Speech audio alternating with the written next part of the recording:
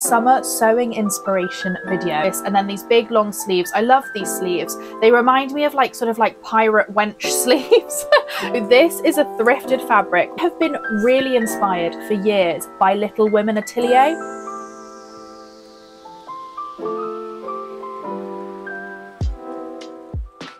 Hello and welcome back to my YouTube channel. It is so lovely to have you guys here. Hello, especially to all of the new faces. Lots of new people have joined us recently. So hi, welcome. It's so great to have you here. My name is Rachel. I am a knitter and a sewist and a gardener.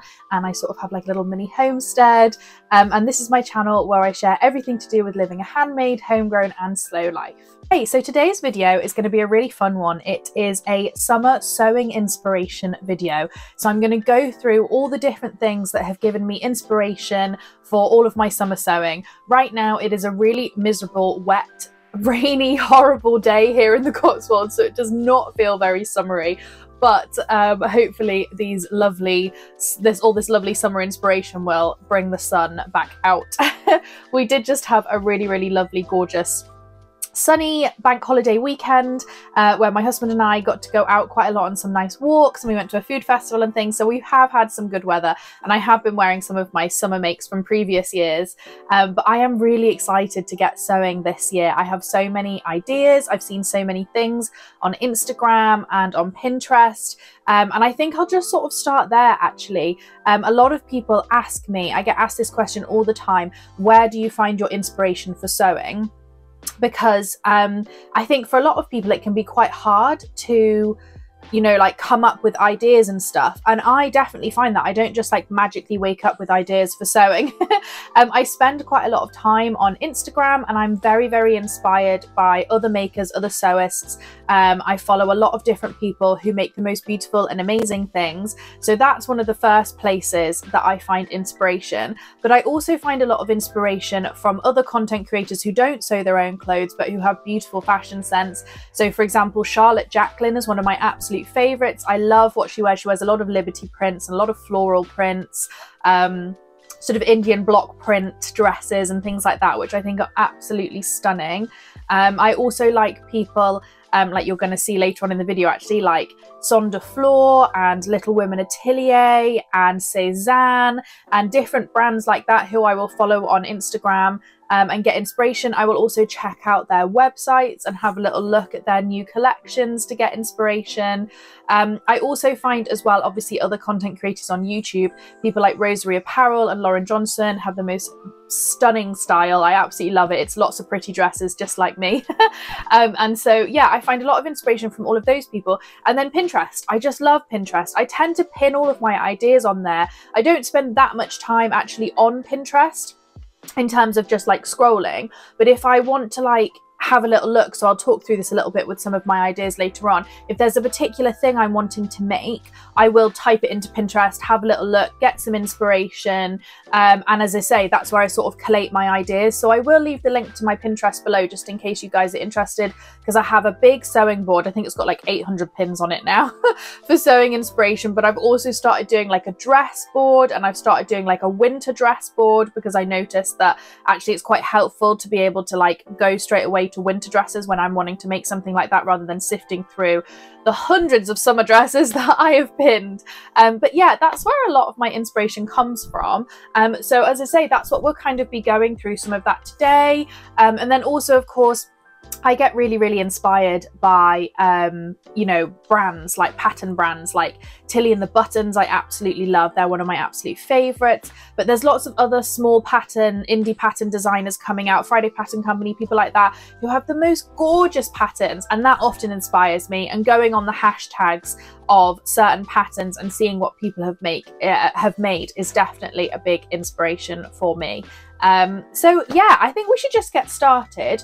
I have got uh, how many have I got? Five different pieces of fabric to show you, which are all from Stash, all bought earlier this year from charity shops and bits and bobs that I've pulled out. These are things that I'm wanting to work with this year. I'm not buying, I don't think I am. I mean, I might do if I see something, but I'm not planning to buy any fabric specifically for summer and for summer making. I'm just planning to use what I've already got try and use patterns that I've already got as well. That's a big one for me. Um, so yeah, I think we should just dive in.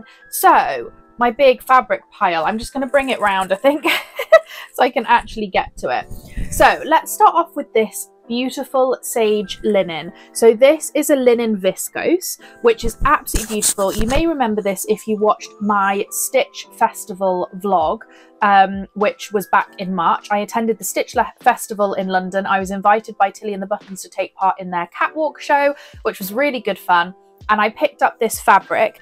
This was a real spenny treat. Um, and I went to the Stitch Festival with that kind of idea in mind that I was going to treat myself to one or two pieces of very beautiful fabric. And linen was really high on my list because I've really got into very natural fibres, so I knit as well. You'll know this if you followed me for a while. And I very much moved into the natural fibres with knitting, and now the same thing with sewing. Now I sew my own clothes. I like to be able to pick fabrics that are natural, breathable, and are going to biodegrade when I'm done with them and when they're sort of like full of holes and dead. um, so this is a linen viscose mix, which I'm a big fan of. I made a blouse last year out of a linen viscose mix and um, it was really lovely, breathable, lightweight, but also it didn't crease quite as much as a standard 100% linen. Um, so I thought that worked quite well. So I got it in this beautiful sage colour. I'm hoping you can see that colour on camera. Um, this was from Sister Mintaka. I can't really hold it up because it's so heavy. Um, I got four meters of it and it's a really wide width. I think it's something like 150 centimeter width, which means I've got a lot to work with and a lot to play with. But in my head, I had a very full dress in mind. So I wanted to make sure I had enough fabric for that. So I have been really inspired for years by Little Women Atelier which is a small independent brand run by a family. It's a family run business. Um, I think it is two sisters and then they've also got like their mum and somebody else involved now um, it's been going for a few years but they create these really beautiful um, linen dresses 100% linen in lots of different colors and the beginning i think they started with little women characters so meg amy jo um, and beth and they had different dresses in those styles in different colors and then they've sort of um, kept bringing out more and more designs over the last few years. Um, and one of their most popular designs which i absolutely fell in love with is called the cottage core dress. Surprise surprise. You guys know i love a bit of cottage core. Um, living in the cotswolds and growing vegetables and running around in linen dresses is my vibe. So Um, I saw this cottagecore dress and I absolutely fell in love with it. So I'll obviously pop up a picture on the screen for you. It's got a lovely v-neck. It's got this beautiful puff sleeve with a little cuff on it. Um, and then it's buttoned down all the front, goes in at the waist. I think there's a waist high, button down the front, um, sort of midi length, um, which is perfect. I wear a lot of midi length in the summer. That is my preferred length. Um, and I just absolutely love it. So um, yeah, I really want to recreate that in this lovely sage linen that I have here. Um, there's a few different patterns that I'm looking at that I think I could work with. First of all, there is the Rosery Apparel. Um, I think it is the Flora dress. I probably should have checked that. Sorry, guys. I will put it up on the screen, the name and the picture of this dress. Um, this is a simple v-neck button-up dress with a little puff sleeve. I think the puff sleeve has an elasticated band on it, so I do want to change that to add a cuff like it is in the Little Women Atelier dress. Um, and I also think as well, um, it's got a lovely waist tie. So I'd add a waist tie. I don't think the skirt is quite as full. So again, I'd be hacking that to make it. So I just literally simply cut the skirt pieces a bit wider and gather them in a bit more. And then I also love the fact that on the women, um, the Little Women Atelier, they have covered buttons. So if I've got enough scraps, which I think I should have, I'd like to make covered buttons for all the way down the front, which is something I've never done before. Um, but yeah, I think that would be just the perfect cottagecore dress in this lovely sage colour, uh, big straw hat, you know, running around the Cotswolds, some trainers on or some sandals on or something. I think that's just going to be lovely. So that is my first um, summer sewing inspiration um, okay, so moving on to another linen. So again, I picked this one up at the show at the Stitch Festival. If you saw that vlog, you might remember it. This one is 100% linen from Higgs and Higgs. Um, and you can tell because it's a lot, it's not quite as soft and it's a lot stiffer. It's got a lot more sort of like shape to it um, and it will probably crease quite a lot. I love red. When I was younger, it was my favourite colour. I used to wear it all the time when I was sort of like 16 to like 22. That was my colour that I would always go to. I'd always wear bright reds. And then I just kind of stopped wearing it. I'm not really sure why. I think it was partly because I became ill and um, my wardrobe changed quite a lot. And yeah, I've spoken about this before. It took me a long time to find my confidence again with my clothes. And when I started sewing, that really helped me to like find myself again. Um, and yeah, I've just been feeling like actually, you know what? A red dress in my wardrobe is something that I could really do with. I think that would be a really nice thing to add. Um, so yeah, I picked up this beautiful red linen, which is a lovely like cherry red. Um, and again, I have been really, really inspired for years and years and years by um, the brand Son de Flor. Long before I was sewing, I fell in love with their beautiful dresses. So they're made again from 100% linen, they're made in France. They're very sort of effortless French countryside chic, cottagecore style. And the brand itself went really big because the cottagecore aesthetic became really popular. Um, and I think a lot of you guys will have seen them on Instagram. Um, yeah, I absolutely fell in love with them. But the dresses, um, you know, before I was sewing, before I got ill, they were so expensive. They're like 150 to 200 euros. Now, I understand why. They're made from beautiful natural fibers. They're made sustainably and ethically. You know, I don't have a problem with the price, but um, I couldn't really afford it. And so for years, I lusted after these beautiful Son floor dresses. And now I sew, I'm like, you know what? I can just make my own Son de dress. Now, the classic style is this button up with a high collar, and I was very, very tempted to make something like that. But I have an awful lot of things in my wardrobe that are high necked. You can obviously see I'm wearing one today. I've made quite a lot of high necked dresses, and I really felt like actually I could do with a few things this summer that aren't quite so high up there. Um, I could do with, you know, some v-necks or, you know, I've got the um, Mabel dresses, which are like a sort of square neckline, um, which I really, really like. So I wanted to make a few things that were maybe not high necked. Um, so I had a little look on the Son de Flor website and they have these beautiful um, wrap dresses, which obviously have a v-neck from being wrap dresses. Um, really, really lovely. So I found this one, which will pop up a picture now. Um, this is their beautiful red one. Um, and you can see the cuffs, you can like turn it up and you have white on it, but also there are pictures, I'll pop another picture, there's a green one where they've turned it down, so it's just one colour. And I really like that. I'm not the biggest fan of the little turn up white um, on the red. I think it looks a little bit like a nurse's uniform um, from like the 1940s. Um, so yeah, I really like um, just sort of the plain sleeve, just a sim very simple short sleeve, very simple wrap dress. And I think that will be perfect for this beautiful red linen fabric. It'll be one of those ones that you just like literally throw on, grab a pair of espadrilles, big straw hat, and just rush out the house kind of thing. You know, it's a really easy, quick dress. Um, there's that scene in Casino Royale at the end where um, Vesper um, puts on that red wrap dress to go into Venice. And then obviously, I don't want to spoil it for anyone who's not seen it, but it's all very sad. But um, she puts on that beautiful red wrap dress and it's so effortless. She just literally throws it on. I don't think she's actually wearing like any underwear or anything. And she just like throws it on and grabs some shoes and she's got this long dark hair. And I've always just been like, oh yes, dreams. Just like wake up in Venice and throw on your red wrap dress and walk out the door. Um, so that's what I'm envisioning for my life. Um, so we'll see if that actually happens. Um, but yes, that is my plan with this beautiful red linen. And I think that's going to make a really, really lovely dress. Okay, so my next make is with this lovely bed sheet, which I did talk about in a in a video um, before last, the one about saving money. I sort of briefly spoke about this bed sheet, which I picked up um, from a charity shop for four pounds. It is a single bed sheet with a matching pillow. On one side, you have this kind of seersucker stripe, and on the other side, it's a plain cotton with like a regular stripe. Um, and I just really loved it when I saw it. I just thought, actually, that would be really cool to mix and match those stripe patterns. Um, and I've seen a few people do that.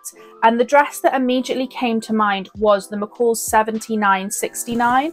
Um, I will pop up a little picture of, I think her name is made by, is it made by Madeline? Um, who shared a top version that she'd made in a gingham where she'd mixed and matched the ginghams with the different sizes and it just looks so cool and I just really like that. I think it's a really interesting look and I would really like to have a go at doing that myself. So that's what I'm going to do. I'm going to make the McCall's 7969 but I want to try and make it as a maxi dress. I think the when I measured it up, um, if you include the front and the back, and the pillowcases. I've got like five meters of fabric here, so I've got quite a lot. So the plan is to make a tiered maxi dress. And so each piece of the bodice will be, so you'll have like the front and the, uh, like the two pieces that cross over. One will be in one stripe and one will be in the other.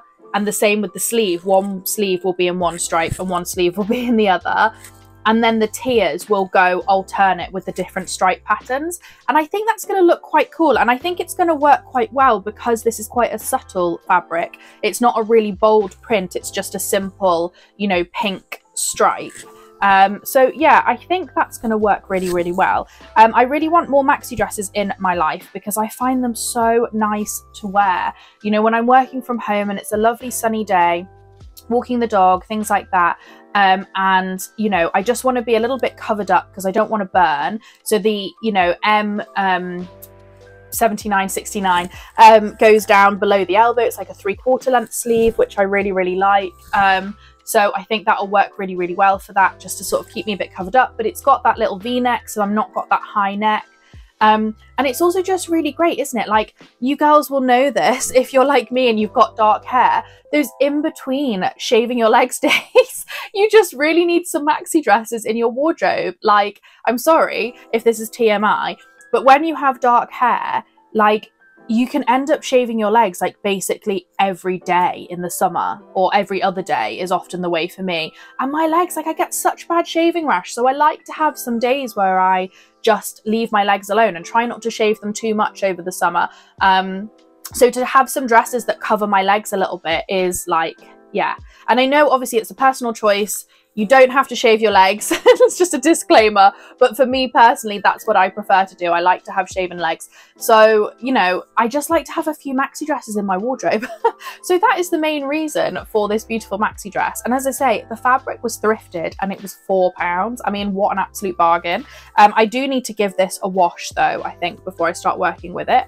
Um, and then I'm going to need to unpick all the seams. I'm always like, unsure whether I should pick the seams because it's quite a lot of work or whether I should just literally cut because you're saving like half a centimeter by picking the seams. So I may just cut them, we'll see. Um, but yeah, that's going to be a lovely maxi dress. Okay, my next fabric, you're going to think you're seeing the same fabric again. It's a very similar color to that sage linen that I showed right at the beginning, but this is actually a double gauze. I bought this in a stash busting sale from my friend um, Helen, who, what is her Instagram? I think it's uh, from Bonnie or something. I will um, put it on the screen because I can't remember. Um, uh, yeah, I can't remember the handle. Um, but anyway, this is three meters at 150 centimeter width of this beautiful double gauze fabric. It is so light and soft. It's from Rainbow Fabrics Kilburn, so it is a dead stock fabric originally, um, and then I've obviously bought it in a stash bust, so yeah, um, it's a bit of a kind of, it's not really thrifted, but you know what I mean? It's like not gone to waste kind of fabric, which makes me very happy. Um, again, I really want some super comfy floaty dresses for the summer for when it gets a lot warmer. I really want things that are going to be comfy to wear from home, things that are sort of elasticated, shirred, easy to throw on, don't even really need a bra if you can't be bothered with a bra situation. You know, just one of those like really lovely dresses. And I've got um, a couple of those in my wardrobe already. I've got a ready to wear one from Fat Face that I've had for about four years now. And then I've got a Mabel that I made in a beautiful seersucker um, cotton, which again is another one that just gets thrown on all the time, super comfy, shirt. So that's what I want to make. Um, and I've got a few ideas for this. I have seen a few things on Pinterest. Um, so the first thing that I saw was this beautiful sage dress. I'll put it up now. So it's got this shirred bodice and then these big long sleeves. I love these sleeves. They remind me of like sort of like pirate wench sleeves. you know what I mean? They've got like a big frill. They got like a cuff and a big frill. And I just imagine they're going to be so pretty. They're really like cottage core look to them.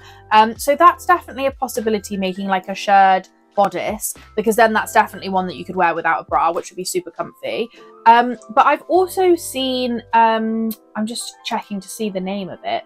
Um, it's the Ischia yeah Ischia dress. The Iskia dress or Iskia, I'm not quite sure how you pronounce that. Um, I think from Doen, the brand. It's a very expensive dress. It's like 350 pounds. I saw it on um, Mulberry House. The um, the lady who um, runs that Instagram was wearing the dress. and it's absolutely beautiful.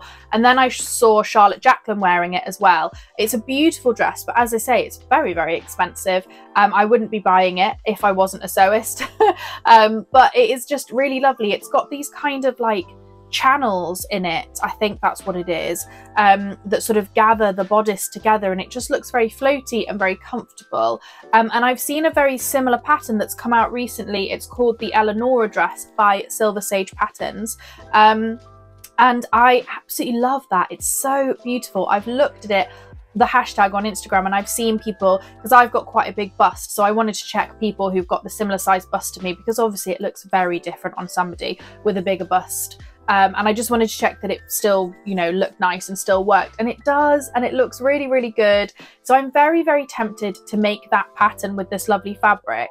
However I have also been inspired for years by Janelle from Rosery Apparel. She makes quite a lot of dresses on her channel where she doesn't use a pattern at all um, and she just uses shirring and she just sort of like makes something up.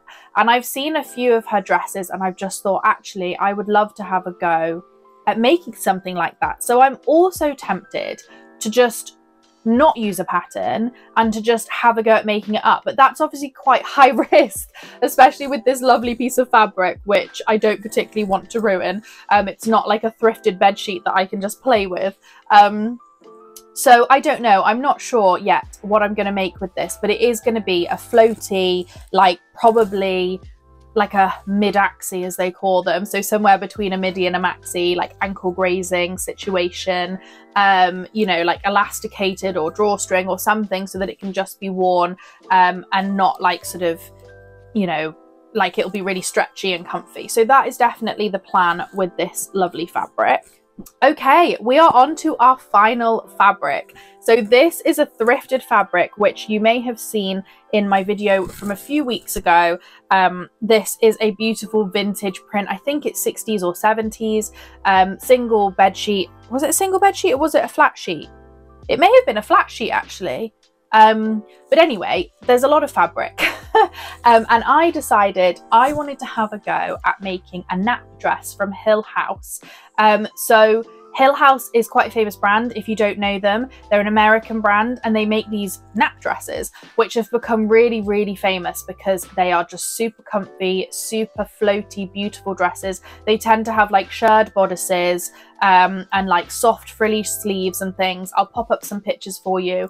Um, so that is the plan is to have a go at making my very own nap dress because I will not be spending hundreds of dollars on one when I can make one myself from a bed sheet. Um, so Lauren Johnson shared a tutorial on her Instagram, on her Instagram, on her YouTube, um, making a sort of nap dress style. Um, and I really, really like what she made. So I'm going to have a go at making the same. It's a shirred bodice all the way down. And then it's got these big like frilly straps. So they look almost like a cap sleeve, but they are actually just a strap. And what she's done is she's, I think, shirred along the top of them so that you then get this frill that sticks out and it looks so much like the nap dresses on the website um, and I just love it. I think it's such a beautiful dress. Um, so yeah, that's what I'm going to do with this one. I'm going to make a nap dress style um, and I think it's going to be lovely. It is a little bit see-through this fabric so um, I think gathering it all, shirring it and having it a really gathered will hopefully add the um, opaqueness that I'm going to need to actually wear it. But if not, I will have to just get like a slip or something to wear underneath it. Um, and that's absolutely fine. Or it'll just become a like at home dress or something. Um, but yeah, I'm really excited to sew with this beautiful vintage bed sheet. Okay, so that is everything. That is all of my summer sewing inspiration that I have to share with you guys. There is going to be a few other makes, but they are for a very specific event that I'm very excited to share about soon in the next couple of weeks. Um, I'm going as press to an event, and yeah, there's going to be a lot of making for this special event. So um, I will be sharing that soon. So make sure you hit that subscribe button so you don't miss out on that because it's a really exciting series coming out. If you enjoyed watching my video, you could check out my Substack, which I also share lots to do with living a handmade, homegrown and slow life, and also my Instagram as well, where I sort of share like in real time um, my making journey and what I'm up to, um, my current WIPs and all that kind of stuff. Thank you so much for watching guys. I hope you enjoyed this video and I will see you next week. I have a very exciting video coming out next week. It is going to be a vlog of a brand new pattern being released. I can't really say much more unfortunately, but I am making a dress from curtains. Um, so make sure you subscribe so you don't miss out on that one and I will see you next time. Thanks guys. Bye.